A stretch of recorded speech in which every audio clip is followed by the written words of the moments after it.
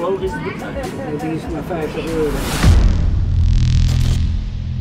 Yo, welkom bij een nieuwe aflevering van de Giergassen. Mijn naam is Joost. En ik ben Martijn. En lieve zwartrijders, jullie hoeven vanaf vandaag niet meer bang te zijn voor die eventuele boete die je zou krijgen als je zwart rijdt. Ja, dat klopt. Als jij gepakt wordt in de trein, dan kan je met één telefoontje van je boete afkomen. Ja. Maar om dit te laten zien, moet jij eerst even een, eh, een boete pakken. Ja, dit hebben wij getest. Het is een tijdje geleden. Als je een beetje sneeuw ziet, schrik niet. Het was toen nog winter. Maar stap 1 was inderdaad de boete vangen. Het werkt nog steeds. Oké, voordat wij aan een boete gaan komen, moeten we natuurlijk door de poortjes. Want we gaan zwart rijden. Stap 1, door de poortjes.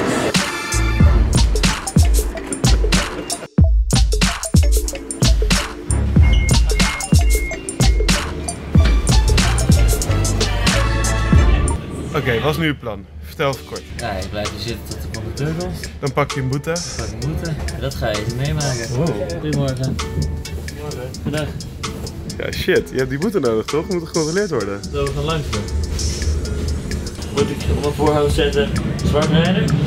Wat is nu het plan? Want ze zijn net langs ons gelopen. Ik heb niet het idee dat ze heel snel weer teruggekomen. Nee, je hebt gewoon je boete nodig. Ik wil Eh, uh, ja. Zal ik even naar zijn stoel om te vragen? Of je een boete mag.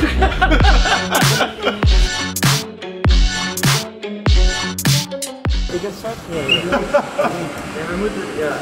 Krijg je dan een boete? Oké.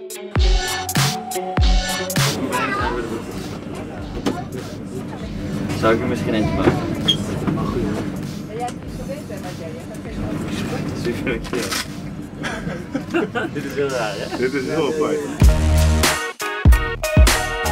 Maar hoe, hoog is de boete? Die is maar 50 euro. Kijk, Alsjeblieft. nou hartstikke bedankt.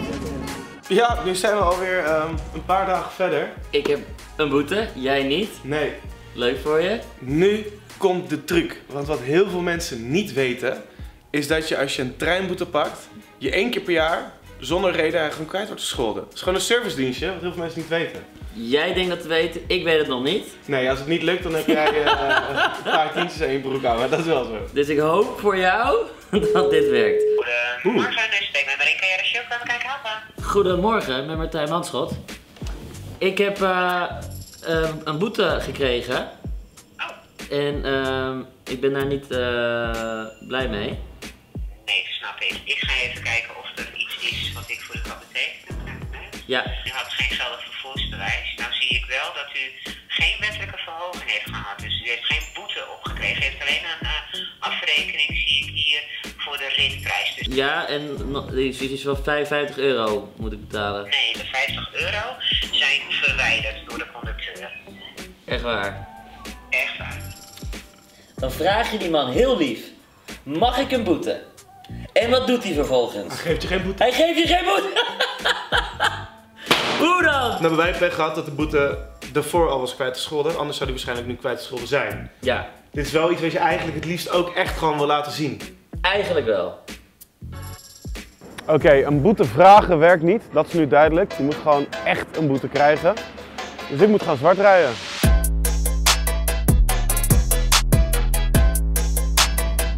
Goedemiddag. Ik ben in alle haast mij vergeten in te checken.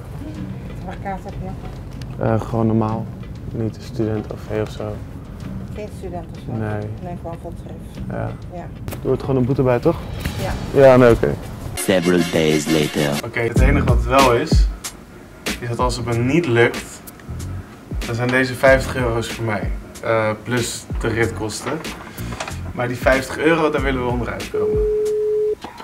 Goedemorgen, goedemiddag. Ik met Marie Minderman. Wie kan ik u helpen? Hallo, goeiedag. Ik heb helaas een eh, boete gehad en ik ben het daar eigenlijk helemaal niet mee eens. Zet ik u dan meteen door. Heeft u nog andere vragen voor mij? Nee, dat was hem, dankjewel. Goedemiddag, u bent dat ik alleen Kruijma. Ja, goeiedag. Hoi. Allereerst bedankt voor het wachten. Dankjewel. Ik heb van collega begrepen dat u wel naar aanleiding van een boete of zo uit van betaling wel heeft ontvangen de trein. En daar bent u het niet helemaal mee eens. U zou daar graag coulance op zien, begrijp ik. Ja, heel graag. Ik zou heel graag een meekulans willen. Ja. En even kijken, want ik heb hem er ook al bij gepakt. Het is gebeurd op 23 januari. Ja, Dus dan heeft u de accessgiro ook al thuis ontvangen, ga ik ook vanuit. klopt. En daar staat als het goed is een bedrag op van 6,70 euro en 50 euro bij elkaar opgeteld. Ja, dat klopt. Wat ik kan doen, eh. Wat, wat kunt u doen voor mij? Ik ga voor u, die, ga die 50 euro, die haal ik eraf. U haalt die boete voor mij eraf. Dank u Ja, wel. die 50 euro. Ik kan, Ja, die, die oké. 50 kan ik- die kan ik er niet van afhalen. Nee, dat snap ik. Dus de ritprijs moet ik nog wel betalen. Ja. Logisch, maar dat is ook helemaal oké. Maar de boete gaat er vanaf. Ja. Hartstikke bedankt. Ja. Yes, fijne dag. Ik nog een hele prettige dag gewenst. Van hetzelfde. Dankjewel. Dank u wel. Die truc waar we het dus over hadden, dat lukt dus echt. Het is gewoon bizar. NS communiceert in principe nergens dat zij een coulanceregeling één keer per jaar treffen. Maar dat doen ze dus wel. Dus één keer per jaar, eh, als je een boete hebt gekregen omdat je geen geld genoeg had voor je OV of whatever. eh, die boete wordt kwijtgescholden en het kaartje betaal je nog. Dus als je pech hebt wordt gecontroleerd, heb je één keer per jaar geen boete. Voor je nou vette aflevering, doe een duimpje omhoog. Ehm, ja, best wel een hack toch? Dus eh leave de comments of jij dit ook een keer vroeger misschien wel had kunnen gebruiken. En eh, zie je volgende week gewoon weer man. Later.